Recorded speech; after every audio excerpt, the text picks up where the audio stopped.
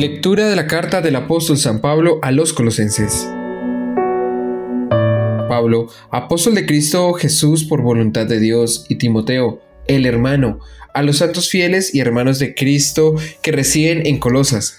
Gracia y paz a vosotros de parte de Dios, nuestro Padre.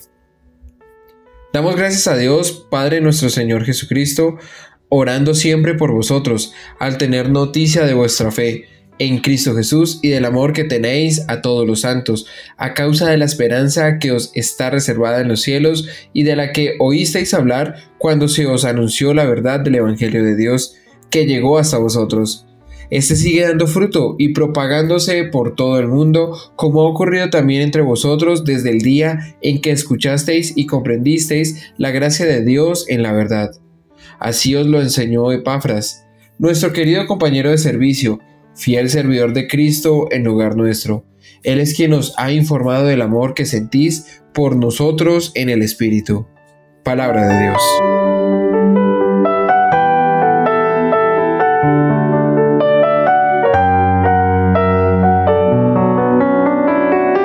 Confío en tu misericordia, Señor, por siempre jamás.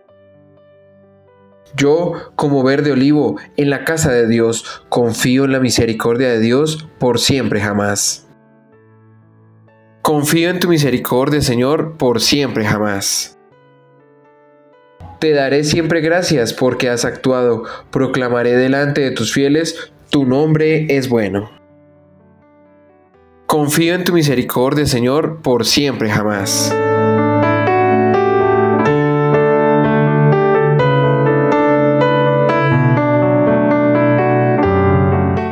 Padre Jesse Blanco.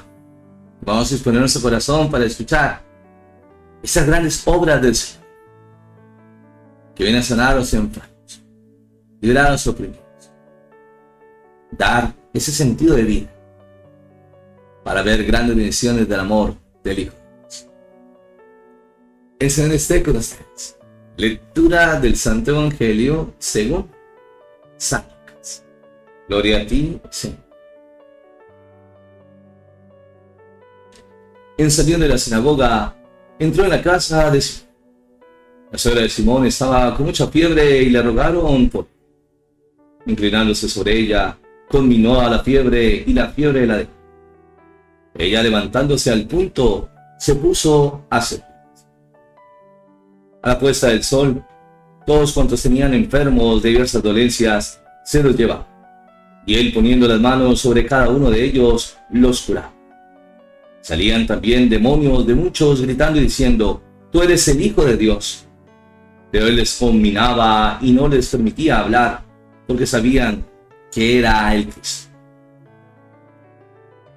Al hacerse de día, salió y se fue a un lugar solitario. La gente le andaba buscando y llegando hasta él. Trataban de retenerle para que él no lo dejara. Pero él dijo, también a otras ciudades tengo que anunciar la buena nueva del reino de Dios, porque a esto es sido E iba predicando por las sinagogas de Palabra del Señor. Gloria a ti, Señor Jesús. Vamos a pedir la luz del Espíritu Santo. ver esos grandes milagros, prodigios que el Señor hace en la vida de la humanidad Solamente preparar el corazón. Es creer, confiar. Vivir esta experiencia maravillosa en el Hijo de Dios. Espíritu Santo, ven sobre nosotros en nuestra vida. Que nos haces comprender esta bella palabra. Que transforma el corazón. Que nos da grandes regalos de amor y misericordia. Que nos llevan a dar testimonio de tus maravillas.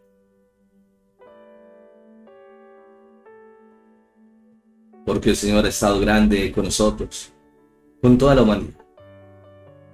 Solamente abrir el corazón, creer en sus promesas, llevar un camino de conversión y ver grandes bendiciones de Dios que se manifiestan a toda la humanidad.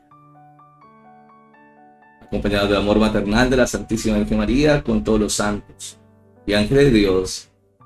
Amén. Mis queridos hermanos y hermanas, veremos cómo el Señor Jesús se retirará de la sinagoga e irá a la casa de Simón. La suegra estará enferma, con una gran fiebre, y el Señor culminará la fiebre,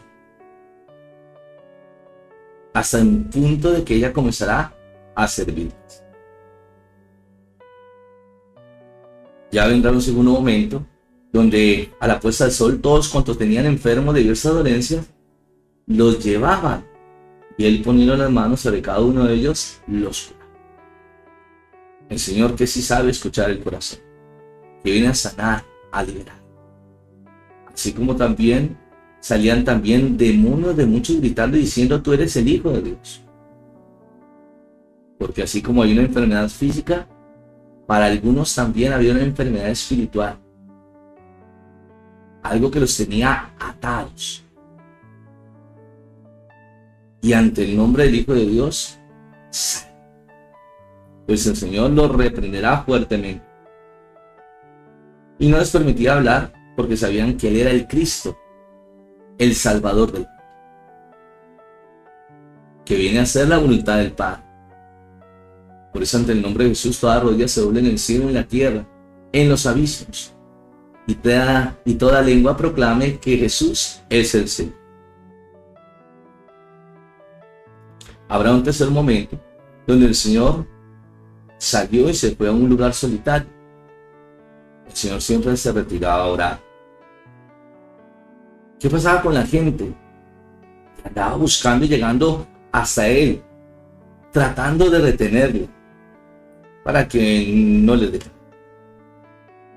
Pero el Señor también les hablará a ellos diciéndoles, también a otras ciudades tengo que anunciar la buena nueva del reino de Dios. Esa buena noticia. El amor del Padre que se manifiesta a toda la humanidad en el Hijo de Dios. Demostrarnos ese reino de amor y misericordia. Porque a esto he sido enviado Y así el Señor irá predicando por las sinagogas de Judea, de distintos lugares del pueblo de Israel, para salvar, para liberar, para dar ese propósito de vida. Nosotros como hijos de Dios vivimos el regalo de la Santa Eucaristía, el pan de vida. Cristo que se une con nosotros en un mismo corazón. Y por eso Vemos grandes milagros y prodigios, porque el Señor ha estado grande con nosotros. Oremos con fe para ver esas grandes bendiciones ya. A través de la oración, que veamos esos milagros, prodigios, bendiciones.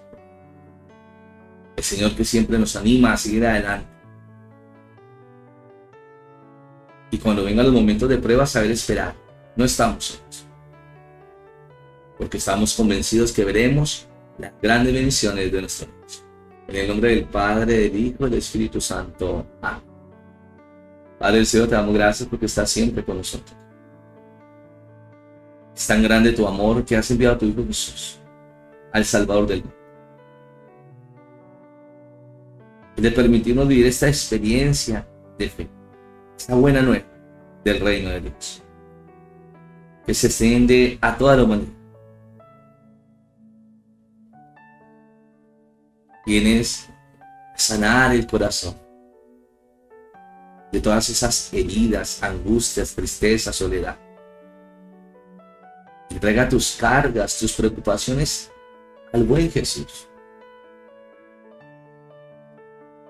Y el Señor te dará la paz, la sabiduría, la fuerza para salir adelante. Es entregar todas esas situaciones negativas esas luchas interiores. Hay un enemigo que nos persigue y quiere que no veamos la misericordia de Dios. No quites la mirada del Señor Jesús. Acércate a esa vida espiritual, los sacramentos, a ese gran regalo de la Eucaristía, pan. Y esa experiencia de amor, de fe, de bendición, nos lleva ver grandes bendiciones del amor de Dios. Sabemos que como seres humanos entregamos también esas luchas, esas dificultades. No te desesperes. Busca la presencia de Dios. Busca el Señor. Y ante los momentos difíciles, ante los momentos de prueba, verás la bendición de Dios. Lo importante es permanecer fiel, ser constantes. Y el Señor nos premiará con esas grandes bendiciones de amor. ¿Cuántos están sedientos del Señor? Busquemos su palabra, sus promesas, el vivir ese misterio de amor en la Eucaristía, donde tenemos la sabiduría el discernimiento, para que así veamos grandes bendiciones del amor. El Señor esté con ustedes. Y la bendición de Dios Todopoderoso, Padre, Hijo y Espíritu Santo, sea sobre ustedes y les acompañe siempre. Vemos a través de este texto lo importante que es entregar nuestro corazón. Que el Señor nos haga, nos bendice. Y viera a su pueblo. Lo importante es entregar el corazón con fe. Esa vida espiritual que nos lleva a dar testimonio de las maravillas de nuestro Dios. Ahí escriben los comentarios. Qué milagro, qué bendición el Señor ha hecho en tu vida. Bendiciones